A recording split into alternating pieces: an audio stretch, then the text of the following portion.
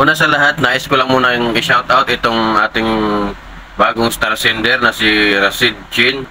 Thank you so much sa support at uh, uh, more blessings to come sa pamilya mo. Yun lang, uh, thank you so much at maraming salamat sa talaga sa inyong suporta. So, meron kasi ditong message sa messenger ko nagre-request na mula Baguio papuntang Palawan. So actually, hindi talaga ako nakakabiyahe pa dyan sa Palawan. Pero nag-google ako, mayroon dyan uh, biyaheng ano, uh, mula Mindoro papuntang Coron, then Coron to El Nido.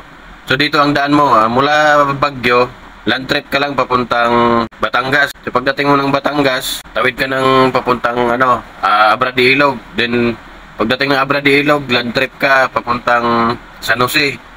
So pagdating ng San Jose, may barko doon papuntang Coron. Then Coron to El Nido. So yun lang idol, ha? pagdating mo ng Coron, Palawan ano na yon. Diretso ka na pa Puerto Princesa. So yun lang, ingat ka idol ha? at maraming salamat. Sa mga hindi pa nakapalo sa akin guys, paki-follow naman ako. Pa-like and share na lang din. Thank you so much.